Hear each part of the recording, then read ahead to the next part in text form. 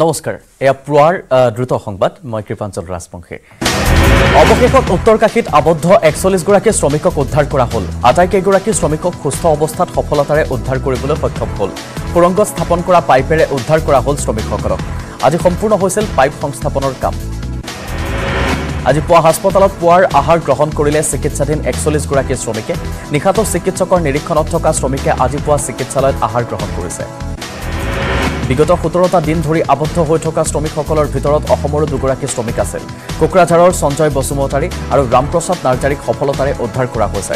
দুয়োগৰাকী শ্ৰমিক সুস্থ অৱস্থাত আছে। উদ্ধাৰৰ পিছতে কোকৰাঝাৰত আনন্দৰ পৰিৱেশে বিৰাজ কৰিছে।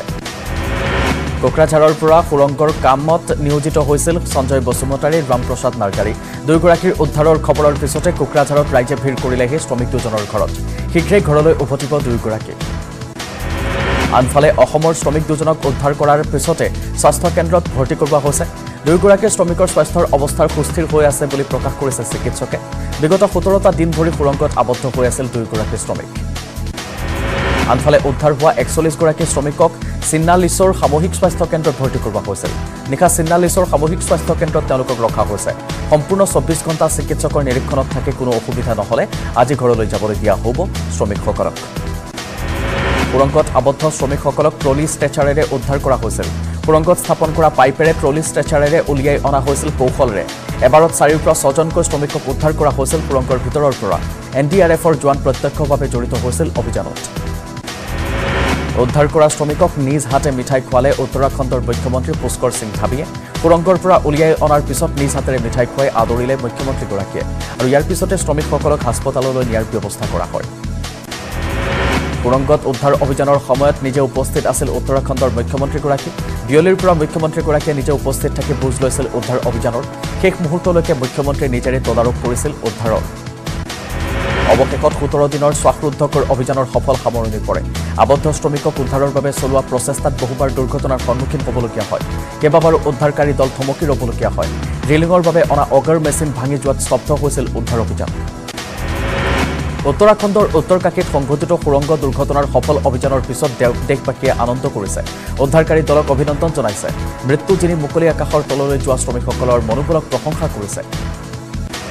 আনফালে সুৰংগত আবদ্ধ শ্ৰমিকসকলক উদ্ধাৰ কৰাৰ পিছত প্ৰধানমন্ত্ৰী নৰেন্দ্ৰ মোদীয়ে শুভেচ্ছা জনাইছে। উদ্ধাৰকাৰী দলৰ লগতে উত্তৰাখণ্ডৰ মুখ্যমন্ত্ৰী পুষ্কৰ সিং ধামীক শুভেচ্ছা জনাইছে। টুইটযোগে সকলোকে অভিনন্দন জনাইছে। ৰাষ্ট্ৰপতি দ্ৰৌপদী মুৰ্মুৱেও উদ্ধাৰ অভিযানৰ সফল পৰিসমাপ্তিৰ বাবে শুভেচ্ছা জ্ঞাপন কৰিছে। ৰাষ্ট্ৰপতিয়ে উত্তৰাখণ্ডৰ মুখ্যমন্ত্ৰীকে ধৰি উদ্ধাৰ অভিযানত জড়িত সকলোকে শুভেচ্ছা অভিনন্দন জ্ঞাপন কৰিছে। শ্ৰমিকসকলকো শুভেচ্ছা জনাইছে। ম্যানমাৰত চলি থকা বিদ্ৰোহৰ মাজতে বিপদত পৰিছে উত্তৰ পূবৰ বিদ্ৰোহী সংগঠন। ম্যানমাৰৰ ছাগা ইং অঞ্চলত মণিপুৰী সশস্ত্ৰ সংগঠন আৰু বাৰ্মিজ আৰ্মীৰ বিৰুদ্ধে পি ডি এফৰ যুদ্ধ অব্যাহত। শেহতীয়া আক্ৰমণ প্ৰত্যাক্ৰমণত বহুজন আহত। বাংলাদেশত ক্ৰমাৎ ঘনীভূত হৈছে ৰাজনৈতিক অস্থিৰতা। নিৰ্বাচনৰ আগে আগে শাসক বিৰোধীৰ মাজত আৰম্ভ হৈছে ৰাজনৈতিক যুদ্ধ। বিৰোধী বি এন পিৰ দুদিনীয়া দেশজোৰা প্ৰতিবাদী কাৰ্যসূচীৰ পিছতে পৰিস্থিতিৰ অৱনতি ঘটিছে। বৰ্ষাপাৰাত মেক্সৱেলৰ বাহুবলত বিধ্বস্ত হ'ল টীম ইণ্ডিয়া। টি টুৱেণ্টিৰ তৃতীয়খন খেলত অষ্ট্ৰেলিয়াৰ শ্বাসৰুদ্ধকৰ জয়। মেক্সৱেলে আঠচল্লিছ বলত এশ চাৰি ৰানৰ বিস্ফোৰক ইনিংছেৰে কাঢ়ি নিলে ভাৰতৰ নিশ্চিত বিজয়। নিশা মাজুলীত ৰাস উপভোগ কৰিলে মুখ্যমন্ত্ৰীয়ে। কমলাবাৰী উত্তৰ কমলাবাৰী শ্ৰীমন্ত শংকৰদেৱ কৃষ্টি সংঘত ৰাস উপভোগ কৰিলে মুখ্যমন্ত্ৰীয়ে। ক'লাজেটি কণমানি শিশুক লৈ ৰাসলীলা চালে মুখ্যমন্ত্ৰীয়ে। নিশা মাজুলীত ৰাস উপভোগ কৰিলে মুখ্যমন্ত্ৰীগৰাকীয়ে এনেদৰে মাজুলীৰ চাৰি ঠাইত ৰাস উপভোগ কৰিলে তেখেতে। ৰাসৰ মাজতে ভাগিনৰ সৈতেও কথা পাতিলে। ৰাসৰ মাজতে মুখ্যমন্ত্ৰীক কাষত পাই তেওঁলোক উৎফুল্লিত হ'ল। ম্যানমাৰত ভাৰতীয় মূলৰ উগ্ৰপন্থী সংগঠনৰ ওপৰত ভয়ংকৰ আক্ৰমণ কৰিছে পি ডি এফে নিহত মণিপুৰৰ বিদ্ৰোহী সংগঠন কে ৱাই কে এলৰ এজন কেডাৰ ছাগা ইং প্ৰদেশত হোৱা সংঘৰ্ষত নিহত হৈছে। মণিপুৰৰ বিদ্ৰোহী সংগঠনৰ কেডাৰ এম উত্তম পোন্ধৰ চনত ভাৰতীয় সেনাক আক্ৰমণ কৰাৰ ঘটনাত জড়িত আছিল এম উত্তম। পল্টন বজাৰৰ হোটেল নন্দনত সংঘটিত হৈছে অগ্নিকাণ্ডৰ ঘটনা। হোটেলখনত শ্বৰ্ট চাৰ্কিটৰ ফলত অগ্নিকাণ্ডৰ সন্দেহ। অগ্নিকাণ্ডত বিশেষ ক্ষয় ক্ষতি হোৱা নাই হোটেল নন্দনৰ হোটেলখনৰ প্ৰথম মহলাত জুই লাগিছে। দিনজোৰা জেৰাৰ অন্তত চৰ্ত সাপেক্ষে ঘৰলৈ যাবলৈ দিয়া হৈছে এ চি এছ আকাশী দুৱৰা আৰু ত্ৰিদীপ ৰয়ক। এছ আই টিৰ তদন্তত দুয়োগৰাকীৰ বিসংগতি ধৰা পৰিছিল। এছ আই টিয়ে তলব কৰিলেই হাজিৰ হ'ব লাগিব দুয়োজন বিষয়াই। মূল পৰীক্ষাত উত্তীৰ্ণ নোহোৱাকৈয়ে এ চি এছ হৈছিল আকাশী দুৱৰা আৰু ত্ৰিদীপ ৰয়। দুয়োগৰাকী কেৱল প্ৰাৰম্ভিক পৰীক্ষাতে উত্তীৰ্ণ হৈছিল। মূল পৰীক্ষাত ফেইল কৰাৰ পিছত বক্ৰ পথেৰে দুয়োগৰাকীয়ে লাভ কৰিছিল এ চি এছ ৰেংক। আকাশী দুৱৰাক এ পি এছ চিৰ তদানীন্তন অধ্যক্ষ ৰাকেশ পালক চিনাকি কৰাই দিছিল বসন্ত কুমাৰ দলে। সেই সময়ত এ পি এছ চিৰ অন্যতম এগৰাকী সদস্য আছিল বসন্ত কুমাৰ দলে। তাৰ পিছতে বক্ৰ পথেৰে ধনৰ বিনিময়ত লাভ কৰিছিল চাকৰি। মেইনছত উত্তীৰ্ণই হোৱা নাছিল আকাশী দুৱৰা এ চি এছ আকাশী দুৱৰাৰ দৰেই বক্ৰ পথেৰে চাকৰি লৈছিল ত্ৰিদীপ ৰয়ে। সেই সময়ৰ এগৰাকী প্ৰভাৱশালী মন্ত্ৰীয়ে ৰাকেশ পালৰ সৈতে চিনাকি কৰাই দিছিল ত্ৰিদীপ ৰয়ক যাৰ ফলস্বৰূপে মেইনছত ফেইল কৰিও এ চি এছ হৈছিল ত্ৰিদীপ। প্ৰিলিমছত পাছ কৰিয়ে টকা দি এ চি এছ হৈছিল ত্ৰিদীপ ৰয়। শোণিতপুৰৰ ভালুকপুঙত আই ই ডি উদ্ধাৰ হৈছে। ভালুকপুং বজাৰৰ সমীপৰ পৰা উদ্ধাৰ হৈছে তিনিটাকৈ হস্ত নিৰ্মিত I E D. Assam Arunachal সীমান্তৰ ভালুকপুঙৰ অনন্ত বৰা নামৰ এজন ব্যক্তিৰ পৰা উদ্ধাৰ কৰা হৈছে আই ই ডি। লংকাত চাঞ্চল্যকৰ ঘটনা। পত্নীক হত্যা কৰি গাঁত খান্দি পুতি থলে এসপ্তাহে। লংকাৰ উদালি তিনিআলিত সংঘটিত হৈছে ঘটনাটো। মঙলবাৰে ছাবিদ আহমেদে হত্যা কৰিছিল পত্নীক। পত্নীক হত্যা কৰি আজি লংকা থানাত আত্মসমৰ্পণ কৰিলে স্বামীয়ে। ড্ৰাগছ সৰবৰাহকাৰীলৈ আৰক্ষীৰ গুলী উত্তৰ গুৱাহাটীত দুই ড্ৰাগছ সৰবৰাহকাৰীলৈ গুলী পলায়নৰ চেষ্টা কৰোঁতে আৰক্ষীৰ গুলীচালনা চনু আলী আৰু অৰ্জুন বাস্ফৰলৈ লক্ষ্য কৰি গুলী। শৰাইঘাট দলঙৰ পৰা আৰক্ষীয়ে অনুসৰণ কৰিছিল। মণিপুৰৰ পৰা গাড়ীৰে আনিছিল নিচাযুক্ত দ্ৰব্য। উত্তৰ গুৱাহাটীৰ নয়াপাৰাত গাড়ী এৰি কৰিছিল পলায়ন। পিটনিৰে পলায়ন কৰিছিল আৰক্ষীৰ গুলীচালনা তাৰ পাছত। অৱশ্যে গুলীবিদ্ধ নহল এগৰাকীও ড্ৰাগছ সৰবৰাহকাৰী পিটনিৰ পৰা আৰক্ষীয়ে আটক কৰিছে দুয়োকে। গাড়ীৰ পৰা জব্দ কৰিছে পোন্ধৰ কোটি টকাৰ ড্ৰাগছ চনু আলী অৰ্জুন বাস্ফৰৰ ঘৰ জালুকবাৰীৰ গাড়ীগাঁৱত কেন্দ্ৰীয় গৃহ ৰাজ্যমন্ত্ৰী অজয় মিশ্ৰ তেনিয়ে অচিৰে নাগৰিকত্ব সংশোধনী আইন বলবৎ কৰা হ'ব বুলি প্ৰকাশ কৰাৰ পিছত সদৌ অসম ছাত্ৰ সন্থাৰ সাধাৰণ সম্পাদক শংকৰজ্যোতি বৰুৱাই প্ৰতিক্ৰিয়া ব্যক্ত কৰিছে। মেৰাপানীৰ চাওদাং পথাৰত চাঞ্চল্যকৰ ডকাইতি ঘৰত কোনো নথকাৰ সুযোগ গ্ৰহণ কৰি এগৰাকী বৃদ্ধা মহিলাক মুখত সোপা দি হত্যা কৰাৰ চেষ্টা চলাই এটা পাকলি বৰুৱা নামৰ দুৰ্ধৰ্ষ ডকাইতে। ৰাজ্যৰ শিক্ষকক লৈ শিক্ষা বিভাগৰ বিশেষ জাননী বাৰ দিনৰ বিশেষ ছুটী শিক্ষকসকললৈ এইবাৰ পাঠ্যক্ৰমৰ বাবে নহয় বিপাসনাৰ বাবেহে ছুটী প্ৰদান। দহ দিনৰ বিপাসনাৰ পাঠ্যক্ৰম কৰিব লাগিব শিক্ষকে। অহা যোৱাৰ বাবে দুদিনৰ ছুটী শিক্ষকসকলক। এই নিৰ্দেশনা এছ এছ এ আৰু শিক্ষা বিভাগৰ। ৰাজ্যজুৰি অব্যাহত ৰাসৰ মহা আনন্দ। ঐতিহ্যমণ্ডিত কুজি দাহ জুৰীয়া নামঘৰত বৰ্ণাঢ্য কাৰ্যসূচীৰে উদযাপিত আঠানব্বৈ বছৰ গৰকাৰ ৰাস উৎসৱ লৌৰা ৰাসত ভাও দিলে আশী বছৰীয়া বৃদ্ধৰ পৰা কণ কণ শিশুলৈ। এই ৰাস উৎসৱত অংশগ্ৰহণ কৰা কেইবাগৰাকী পুৰুষ গোপীয়ে বিগত সাত দশক ধৰি ৰাস নৃত্য কৰিছে। গুৱাহাটীৰ ৰাজচক্ৰ কাৰ্যালয়ৰ উপ পঞ্জীয়ক নিৰঞ্জন ডেকা গ্ৰেপ্তাৰ। উপায়ুক্ত কাৰ্যালয়ৰ গৃহৰক্ষী জোৱান পংকজ দাসক গ্ৰেপ্তাৰ। ৰাজচক্ৰ কাৰ্যালয়ৰ ৰেকৰ্ড কক্ষৰ দেৱাশীষ বৰুৱাক গ্ৰেপ্তাৰ। বাৰজনলৈ বৃদ্ধি পালে মাটি কেলেংকাৰীত জড়িত গ্ৰেপ্তাৰৰ সংখ্যা গুৱাহাটীৰ পানীখাইটিৰ ডাউন টাউন বিশ্ববিদ্যালয়ৰ গ্ল'বেল ইডু ফেয়াৰ ছিজন আঠাইছ আৰু ঊনত্ৰিছ নৱেম্বৰত দুদিনীয়াকৈ ডাউন টাউন চৌহদত অনুষ্ঠিত হৈছে গ্ল'বেল ইডু ফেয়াৰ এই অনুষ্ঠানত দেশৰ লগতে বহিৰাষ্ট্ৰৰ ছাব্বিছখন বিশ্ববিদ্যালয়ৰ প্ৰতিনিধিয়ে অংশগ্ৰহণ কৰিছে।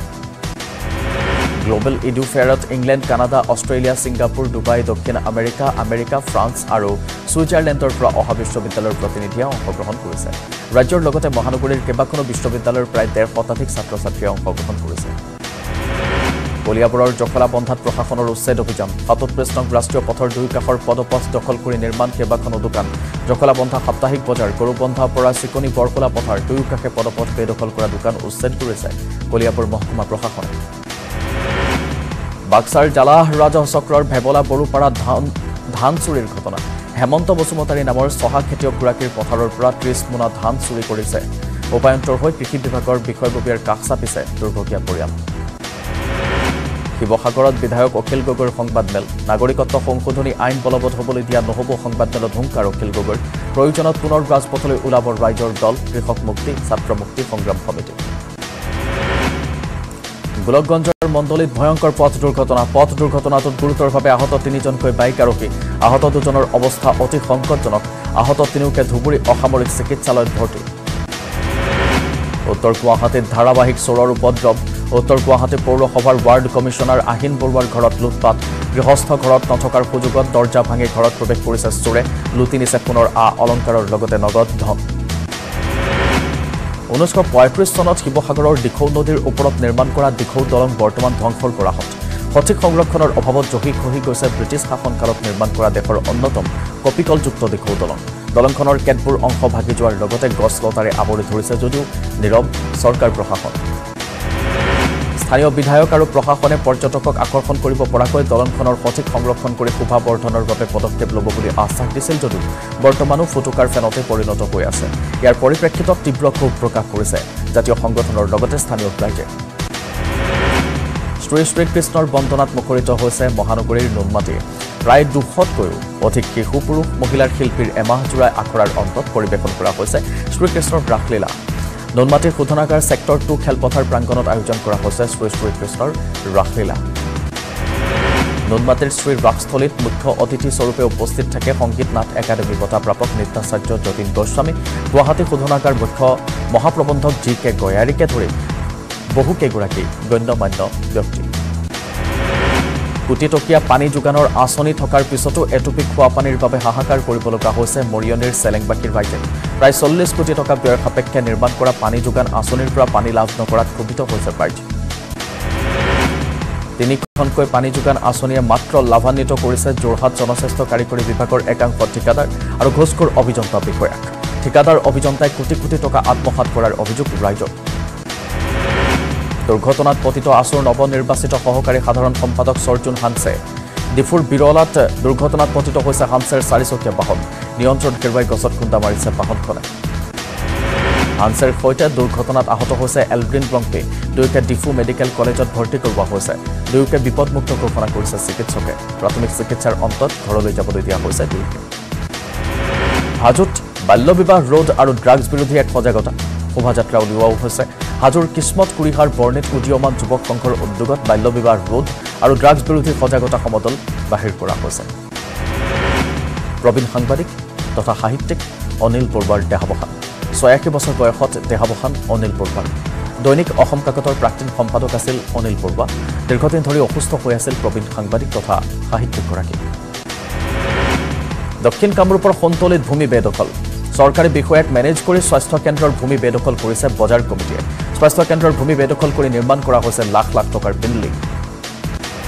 চিৰাঙৰ ৰাজপথত বন বিভাগৰ ধন সংগ্ৰহ ৰাজপথৰে শিল বালি কঢ়িওৱা প্ৰত্যেকখন ডাম্পাৰে বন বিভাগক আদায় দিব লাগে পাঁচশ টকা।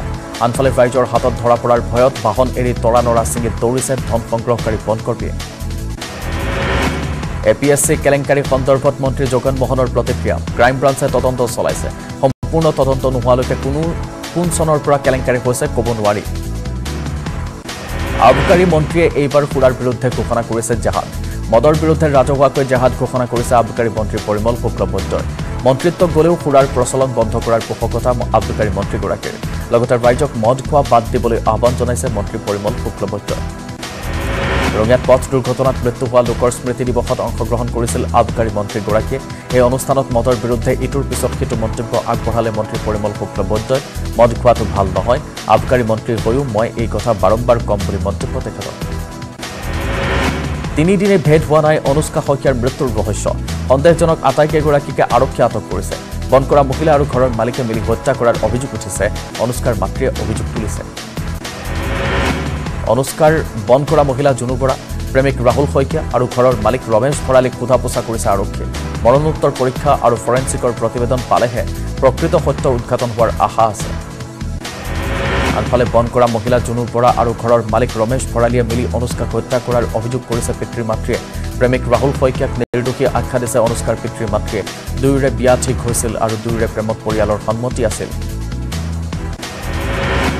গৃহযুদ্ধত বিধ্বস্ত ম্যানমাৰত পৰাজয়ৰ দিশে সামৰিক শাসক জুণ্টা তিনিদিনত চৌষষ্ঠিজন বাৰ্মিজ সেনা নিহতৰ বিপৰীতে বন্দী হৈছে আঠত্ৰিছজন যুদ্ধ বিধ্বস্ত ম্যানমাৰত আবদ্ধ জনতাৰ হাহাকাৰ। ম্যানমাৰত গৃহযুদ্ধত সামৰিক শাসকৰ বিৰুদ্ধে ক্ষয় ক্ষতি জব্দ কৰিছে বাৰ্মিজ সেনাৰ অস্ত্ৰ ভাণ্ডাৰ। দক্ষিণ চান প্ৰদেশত বাৰ্মিজ আৰ্মীৰ বহু কেম্পত M N D A A Arakan Army আৰু টি এন এলৰ আক্ৰমণ। বাৰ্মিজ সেনায়ো আকাশমাৰ্গেৰে চলাইছে আক্ৰমণ। সেনাৰ বোমাত সত্তৰ বছৰীয়া এগৰাকী যুৱতী নিহত হৈছে আৰু ছগৰাকী সাধাৰণ লোক আহত হৈছে। আনফালে চীন সীমান্তৱৰ্তী ম্যানমাৰৰ চান প্ৰদেশত যুদ্ধ লৈছে ভয়ংকৰ ৰূপ আনফালে ম্যানমাৰৰ গৃহযুদ্ধত আবদ্ধ জনতা ম্যানমাৰৰ কংকান স্বায়ত্তশাসিত অঞ্চলত বাৰ্মিজ সেনা আৰু থ্ৰী ব্ৰাদাৰহুড এলায়েন্সৰ মাজত আৰম্ভ হোৱা যুদ্ধই ভয়ংকৰ ৰূপ লৈছে যাৰ ফলত ৰাজধানী লাউকাই আবদ্ধ হৈছে সহস্ৰাধিক জনতা। ম্যানমাৰৰ যুদ্ধ বিধ্বস্ত অঞ্চলটোৰ জনতাক ওলাই যোৱাৰ বাবে সোমবাৰে খুলি দিয়া হ'ল এটা পথ। ইয়াৰ পিছত লাউকাইৰ ৰাজপথত অভাৱনীয় পৰিস্থিতি। মহানগৰীৰ কে জি এম টি হাস্পতালত চিকিৎসকক ভিডিঅ' কল কৰি নাৰ্ছে কৰে চিকিৎসা।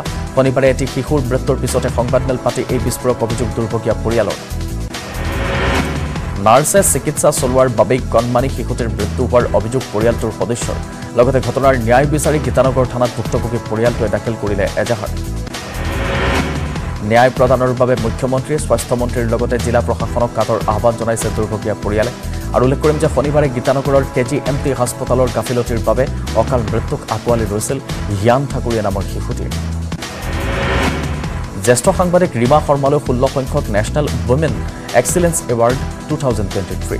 Indo European chamber of small and medium enterprises আৰু international chamber of media and entertainment ইণ্ডাষ্ট্ৰীৰ দ্বাৰা আয়োজিত এক অনুষ্ঠানত এই বঁটা প্ৰদান কৰা হয়। বাংলাদেশৰ পাবনাৰ ঈশ্বৰদীত ৰৈ থকাৰ ৰেলত দুৰ্বৃত্তৰ অগ্নিসংযোগ। সোমবাৰে নিশা চাৰে আঠ বজাত এই ঘটনা।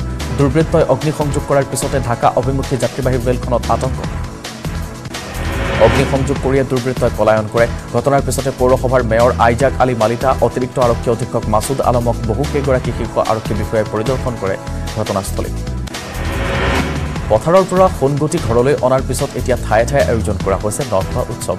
ঘৰলৈ অনা সোণগুটি মৰণা মাৰি প্ৰথমে সোণগুটি ভঁৰালত থোৱাৰ আগতে ন চাউল আগবঢ়াই প্ৰভু ভগৱন্তৰ ওচৰত। সেই ন চাউলেৰে মঙলদৈ দাসী অঞ্চলৰ ৰাইজে আয়োজন কৰে ৰাজহুৱা নখোৱা উৎসৱ। মঙলদৈৰ জনাৰাম চক গাঁও পঞ্চায়তৰ অন্তৰ্গত দীঘিৰ পাৰ কৈকাৰা লেজুৰা ধোৱাপাৰা তামুলীপাৰা দাহি নগাঁও নিজ দাহিকে ধৰি কেইবাখনো গাঁৱৰ ৰাইজৰ উপস্থিতিত পালন কৰা হয় চহা কৃষকৰ উৎসৱ নখোৱা। আদালতত বিচৰাধীন বিবদমান ভূমিৰ পট্টা প্ৰদান কৰাৰ অভিযোগ মায়ং ৰাজহচক্ৰ বিষয়াৰ বিৰুদ্ধে এই গুৰুতৰ অভিযোগ মাটিৰ গৰাকী ৰামচৰণ দেৱনাথৰ। দুহেজাৰ দহ চনৰ পৰা আদালতত বিচৰাধীন বিবদমান ভূমিখিনি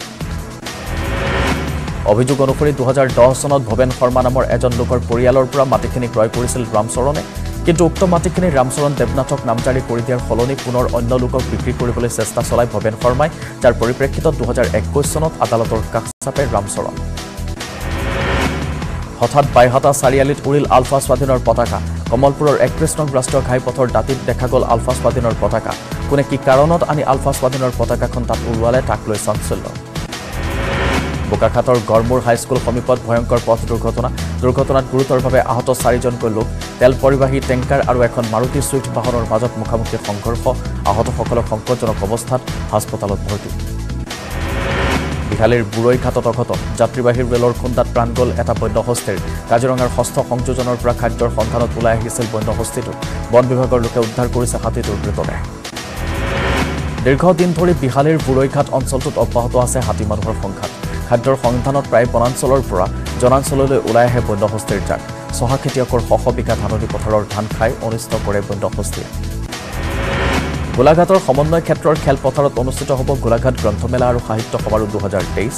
ঊনত্ৰিছ নৱেম্বৰৰ পৰা ছয় ডিচেম্বৰলৈ অনুষ্ঠিত হ'বলগা গ্ৰন্থমেলাত প্ৰায় শতাধিক গ্ৰন্থৰ বিপণী থকাৰ কথা উল্লেখ উদযাপন সমিতিৰ। নৱপ্ৰজন্মৰ মাজত গ্ৰন্থ পঢ়াৰ প্ৰতি আগ্ৰহ বঢ়াবৰ বাবে সকলো গ্ৰন্থপ্ৰেমী ৰাইজৰ উপস্থিতি কামনা কৰিছে উদযাপন সমিতিয়ে। গ্ৰন্থমেলাত সদৌ অসম ভিত্তিত মহিলা দিহানাম প্ৰতিযোগিতা কবিতা আবৃত্তি প্ৰতিযোগিতা প্ৰাৰ্থনা প্ৰতিযোগিতাৰ লগতে বিভিন্ন ধৰণৰ প্ৰতিযোগিতা অনুষ্ঠিত হ'ব। উক্ত গ্ৰন্থমেলাত ৰাজ্যৰ বিভিন্ন দল সংগঠনৰ নেতা বিশিষ্ট লেখক বুদ্ধিজীৱীৰ লগতে ৰাজ্যৰ মুখ্যমন্ত্ৰী ডঃ হিমন্ত বিশ্ব শৰ্মা উপস্থিত থাকিব বুলি উদ্যোক্তাই জনাইছে। বাইহাটা চাৰিআলি অঞ্চলৰ বাবে ভাল খবৰ। বাইহাটা চাৰিআলিৰ মাজমজিয়াত থকা ছিগনাছ হাস্পতালখনে আৰম্ভ কৰিছে শিশু ৰোগীৰ বাবে দুটাকৈ ইউনিট। সংকটজনক অৱস্থাত থকা শিশু ৰোগীক এতিয়াৰে পৰা হাস্পতালখনতে চিকিৎসা কৰোৱাব পাৰিব। এতিয়াৰে পৰাই নৱজাতক শিশুৰ লগতে দহ বছৰৰ অনুৰ্ধৰ শিশু সকলো জটিল ৰোগৰ চিকিৎসা ছিগনাছ হাস্পতালত কৰা হ'ব। হাস্পতালখনত আছে অত্যাধুনিক যন্ত্ৰৰ এন আই চি ইউ আৰু P I C U unit unit দুটাৰ শুভাৰম্ভণি কৰিছে কমলপুৰৰ আৰক্ষী থানাৰ অ' চি বীৰেন বৰুৱাই। গোসাইগাঁও মহাবিদ্যালয়ৰ কেম্পাছত আছে ডাঙৰ ডাঙৰ শাৰী শালকাছত বাঁহ লৈছে অজস্ৰ চৰায়ে। সহস্ৰ বাদুলি আৰু ফলাহাৰী চৰাইৰ অস্ত্ৰস্থল হৈছে এতিয়া গোসাইগাঁও মহাবিদ্যালয় কেম্পাছ। গোসাইগাঁও মহাবিদ্যালয়ৰ ছাত্ৰ ইউনিয়নৰ লগতে সচেতন ব্যক্তিয়ে কলেজ কেম্পাছৰ গছ গছনি সংৰক্ষণ আৰু চৰাইৰ বাসস্থানৰ আৰক্ষণ কৰিবলৈ কলেজ আৰু বিভাগীয় কৰ্তৃপক্ষক ব্যৱস্থা গ্ৰহণ কৰিবলৈ দাবী জনাইছে। আঘোণ মাহৰ পূৰ্ণিমা তিথিত পৰম্পৰাগত মহ খেদা গীতেৰে মুখৰ হৈছে ৰঙীয়া পথাৰৰ লখিমী ঘৰলৈ অনাৰ সময়তে কৃষিজীৱীৰ ৰাইজে পাতিছে উৎসৱৰ উৎসৱ। ৰঙিয়াৰ খৈৰাবাৰীৰ স্থানীয় লোকসকলে ঘৰে ঘৰে গৈ মহ খেদাৰ গীত গাই পালন কৰিছে মহোহ। গাঁৱৰ গৰখীয়া আৰু চেমনীয়া ল'ৰাবোৰে আনন্দৰে পালন কৰিছে এই মহখেদা উৎসৱ। কালক্ৰমত এই লোক সংস্কৃতিৰ চৰ্চা আৰু প্ৰচাৰ হ্ৰাস পাইছে।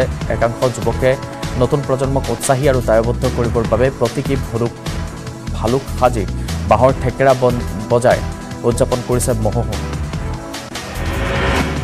বাইহাটত পথ সুৰক্ষা জনচেতনা কাৰ্যসূচীত অংশগ্ৰহণ কৰিছে পৰিমল শুক্লবৈদ্য বিশ্ব স্মৃতি দিৱস উপলক্ষে নৱেম্বৰৰ পৰা আৰম্ভ কৰা মন্ত্ৰীগৰাকীৰ মটৰ চাইকেল ৰেলী বাইহাটা চাৰিআলিত পুথিমাৰীত উপস্থিত হৈছে। পথ সুৰক্ষা জনচেতনা কাৰ্যসূচীৰ অংশস্বৰূপে ওলোৱা বাইক ৰেলীৰ জৰিয়তে পথত যান বাহন চলোৱাৰ নীতি নিয়মো ব্যক্ত কৰিছে মন্ত্ৰীয়ে। মন্ত্ৰীগৰাকীয়ে জনচেতনা অনাৰ বাবে প্ৰায় চাৰি হাজাৰ কিলোমিটাৰ পথ বাইক ৰেলী কৰিব বুলি উল্লেখ কৰিছে। ৰঙিয়াৰ বৰকুকুৰীয়াৰ হৰিমন্দিৰ প্ৰাংগণতো সোমবাৰৰ পৰা আৰম্ভ হৈছে শাৰদীয় ৰাস মহোৎসৱ। পাঁচদিনীয়াকৈ আয়োজন কৰা ৰঙিয়াৰ ৰাস মহোৎসৱৰ ধৰ্মীয় পতাকা উত্তোলন কৰিছে ৰঙিয়াৰ বিধায়ক তথা বিজেপিৰ ৰাজ্যিক সভাপতি ভৱেশ কলিতাই কেইবা লক্ষাধিক টকাৰ বাজেটেৰে আয়োজন কৰা ৰাস মহোৎসৱত বিপণীসমূহত আটকধুনীয়াকৈ স্থাপন কৰা হৈছে শ্ৰীকৃষ্ণৰ মৃন্ময় মূৰ্তি। পাঁচদিনীয়া কাৰ্যসূচীৰে আয়োজিত ৰাস মহোৎসৱৰ যথাবিহিত পূজা অৰ্চনা নাম প্ৰসংগ ভাগৱত পাঠ আদিৰ লগতে সাংস্কৃতিক অনুষ্ঠান আদি অনুষ্ঠিত হৈছে। ঢেকীয়াজুলিৰ শিঙৰি চাপৰিত চহা কৃষকৰ সেউজ বিপ্লৱ। বিঘাই বিঘাই মাটিত কৃষকসকলে কৰিছে বিলাহী খেতি। বিলাহী খেতি কৰি হাঁহি পিৰিঙিছে কৃষকৰ মুখত। উৎপাদিত বিলাহীৰ উচিত মূল্য লাভ কৰি কৃষকে আনন্দিত হৈছে। উপাৰ্জনৰ লক্ষ্যৰে কৰা বিলাহী খেতি ভবাৰ দৰে লাভৰ মুখ দেখিছে কৃষকে। খেতিৰ পৰাই কৃষকসকলে বিলাহী পাইকাৰী দৰত প্ৰতি কেজিত পঞ্চাছ টকাকৈ বিক্ৰী কৰিছে। কৃষকসকলে আশা কৰিছে এক লাখ টকালৈ বিলাহী খেতিৰ পৰা উপাৰ্জন কৰিব পাৰি। দিছপুৰত দিহানাম সংৰক্ষণ মঞ্চ অসমৰ সংবাদমেল শংকৰ মাধৱ সাংস্কৃতিক দিহানাম কমিটিৰ লোক লোকসকলে দিহানামৰ বিশ্ব ৰেকৰ্ড গঢ়িবলৈ ভুৱাভাৱে ধন লোৱাৰ অভিযোগ। গণেশ দাসৰ উদ্যোগত অনুষ্ঠিত হ'ব লগা দিহানাম সম্পূৰ্ণৰূপে ভুৱা বুলি প্ৰকাশ কৰিছে দিহানাম সংৰক্ষণ মঞ্চ অসমৰ বিষয়ববীয়াসকলে। শ্ৰীমন্ত শংকৰদেৱ সংঘৰ লখিমপুৰ জিলা সমিতিৰ সাংস্কৃতিক শাখাৰ উদ্যোগত বধাকৰা কুচিয়ামাৰী নামঘৰত খোলবাদ্যৰ প্ৰশিক্ষণ গ্ৰহণ কৰি আছে শিশুৱে। এই আৱাসিক প্ৰশিক্ষণত অঞ্চলটোৰ পঁয়ত্ৰিছ শিশুৱে অংশ লৈছে। গুৰুজনাৰ সৃষ্টি গায়ন বায়ন যাতে শুদ্ধ ৰূপত প্ৰজন্মৰ পৰা প্ৰজন্মলৈ যায় সেই আশা কৰিয়ে এই পদক্ষেপ গ্ৰহণ কৰিছে আয়োজকে। তিতাবৰৰ মৰিয়নী সীমান্তত নিশা বন্য হস্তীৰ পোৱালিৰ কৰুণ মৃত্যু হৈছে। গাঁতত পৰি মৃত্যু হৈছে ডেৰমহীয়া হাতীৰ পোৱালিটো। তিতাবৰৰ ৰঙাজান জংঘল লাইনত সংঘটিত হৈছে দুৰ্ঘটনা খাদ্যৰ সন্ধানত মৰিয়নীৰ গিবন অভয়াৰণ্যৰ পৰা ওলাই অহা হাতীৰ এটা জাকৰ পৰা বিচ্ছিন্ন হৈছিল হাতী পোৱালিটো আৰু তাৰ পাছত গাঁতত পৰি মৃত্যু হৈছে। বেডেটিত ৰেলৰ খুন্দাত হাতীৰ মৃত্যু হৈছে। বুৰৈ দলঙৰ সমীপত এই দুৰ্ঘটনাটো হৈছে। দনি পলো এক্সপ্ৰেছৰ খুন্দাত থিতাতে মৃত্যু হৈছে হাতীটো। ডুমডুমাত একেটা দিনতে দুটাকৈ বন্যহস্তীৰ আক্ৰমণৰ ঘটনা। সোমবাৰে সন্ধিয়া ডুমডুমাৰ সমীপৰ কাকজানত বন্যহস্তীৰ আক্ৰমণত গুৰুতৰভাৱে আহত হয়। কাকজানৰ লক্ষ্যধৰ চেতিয়া নামৰ এগৰাকী যুৱক। ডুমডুমা আঞ্চলিক মৰাণ ছাত্ৰ সন্থাৰ বিত্ত সম্পাদক লক্ষ্যধৰ চেতিয়া। গোৱালপাৰাত দৈনিক অব্যাহত আছে বন্যহস্তীৰ সন্ত্ৰাস। কি দিন কি ৰাতি। সকলো সময়তে গাঁৱে ভূঞে হাতীৰ বৃহৎ বৃহৎ হাতীৰ জাক এনেকৈ সোমাই এফালৰ পৰা উপদ্ৰৱ চলায়। আনকি বিগত দহটা দিনত দুজনকৈ লোকে প্ৰাণো হেৰুৱাব লগা হৈছে হাতীৰ আক্ৰমণত। তাৰ পাছতো নিৰ্বিকাৰ বন বিভাগ এতিয়ালৈকে ব্যৱস্থা লোৱা নাই। ছমাহৰ ভিতৰত কাৰ্যক্ষম হ'ব নামনি সোৱণশিৰি জলবিদ্যুৎ প্ৰকল্প। প্ৰকল্পস্থলী পৰিদৰ্শন কৰি ঘোষণা কেন্দ্ৰীয় মন্ত্ৰী ৰাজকুমাৰ সিঙৰ ভূমিস্খলন হোৱা স্থানত নিৰ্মাণ হ'ব গাৰ্ডৱাল আৰু ডুমডুমাত পুনৰ বন্যহস্তীয়ে আক্ৰমণ কৰিলে। কাকজানৰ লক্ষ্যধৰ চেতিয়া নামৰ যুৱকজনক আক্ৰমণ কৰিলে। গুৰুতৰভাৱে আহত চেতিয়াক চিকিৎসালয়ত ভৰ্তি কৰোৱা হ'ল। পুৱা বৰডুবিত হাতীৰ আক্ৰমণত এগৰাকী কিশোৰীৰো মৃত্যু হৈছে।